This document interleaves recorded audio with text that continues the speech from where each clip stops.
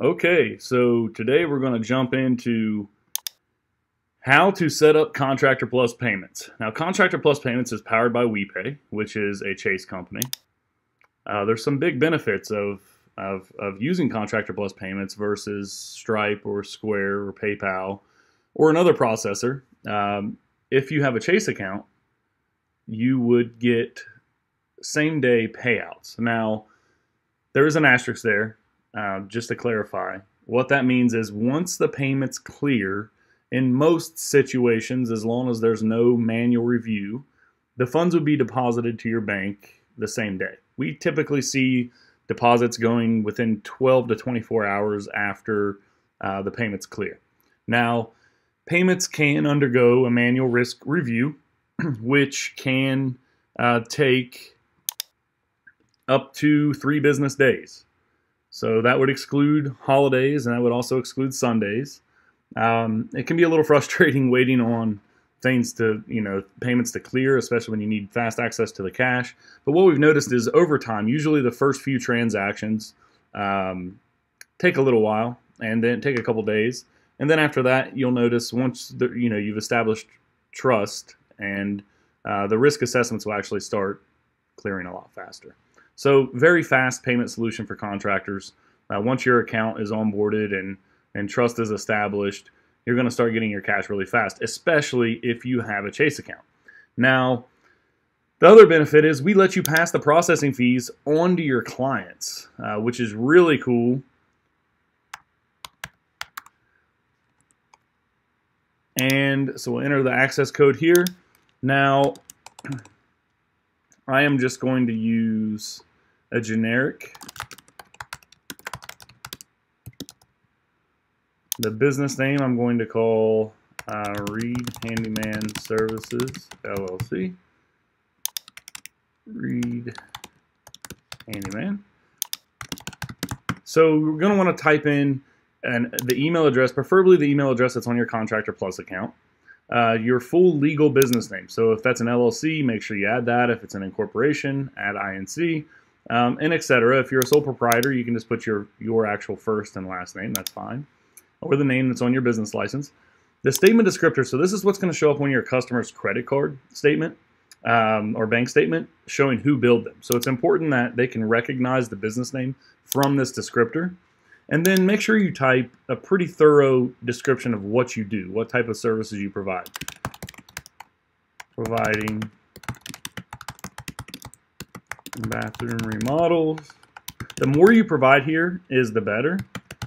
Flooring, painting, drywall, light electrical.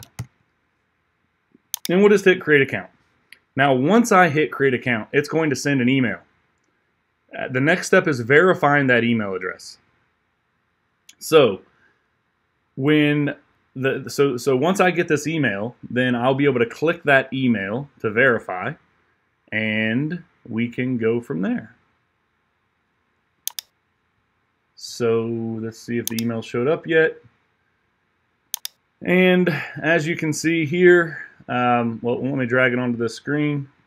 But we've got the email, and I'm going to click Set Password.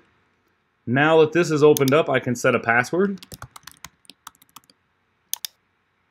Now this will be the password for the Contractor Plus Payments account. If you want to set this to the same password you use for the Contractor Plus account, go for it. Um, do whatever you're going to be able to remember. But this will give you access to the WePay uh, Merchant Center where you can see your transactions, see the transaction status, and uh, pretty much everything. Now, it's important you go through this process. This process right here is part of the onboarding process we call KYC, stands for Know Your Customer.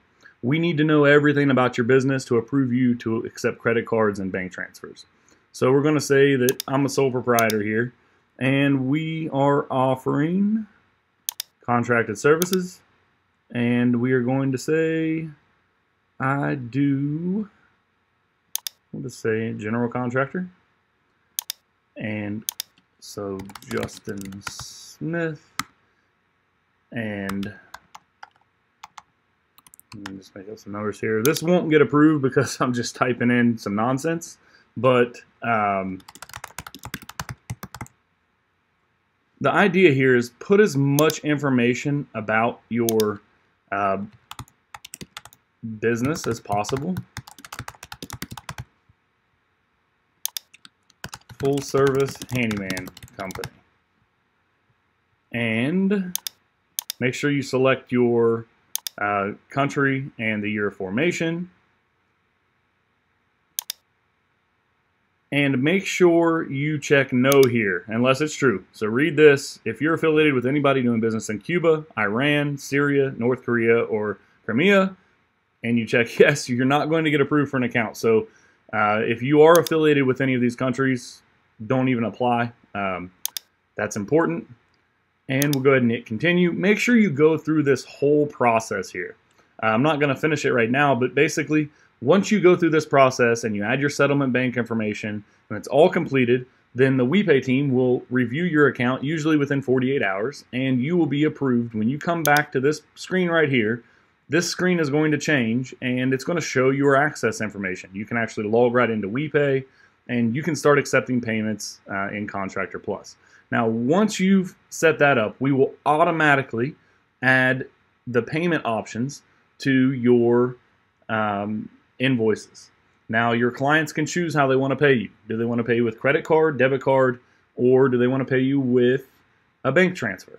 And the bank transfer is very simple. Uh, we use a system called Plaid where they can just log into their bank account, do the transfer, uh, super easy.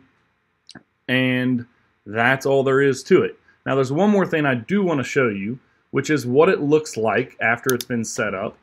To show you that, I'm just going to log out of this account and log into another account that already has it activated. And gotta love these captions. There we go. And we'll navigate back to the settings and then scroll down to payments. And here we will see what it looks like after the account has been completely set up and approved. So you can always access the, the WePay account. Uh, you can edit your payment schedule. You can access your WePay account by clicking the email here or manage my payments account. Uh, you can update your bank account information. And you can also choose right here, who do you want to pay the transaction fees? So if you set this to my client, then it's going to show your client that there's a 2.9% fee uh, plus 30 cents per transaction, or there's a 1% fee for a bank transfer, and your client can choose how they pay. But the important thing to mention there is you're not paying the fees. At the end of the day, those fees, those transaction fees are actually getting passed on to your clients. So it's making you more money. Um, of course, we also offer other options here for those who don't want to accept uh, contractor plus payments, or for those who want to offer their clients some options, uh, you can go for that. It's important to note, though, that you are unable to pass the transaction fees on to your client with any other payment option.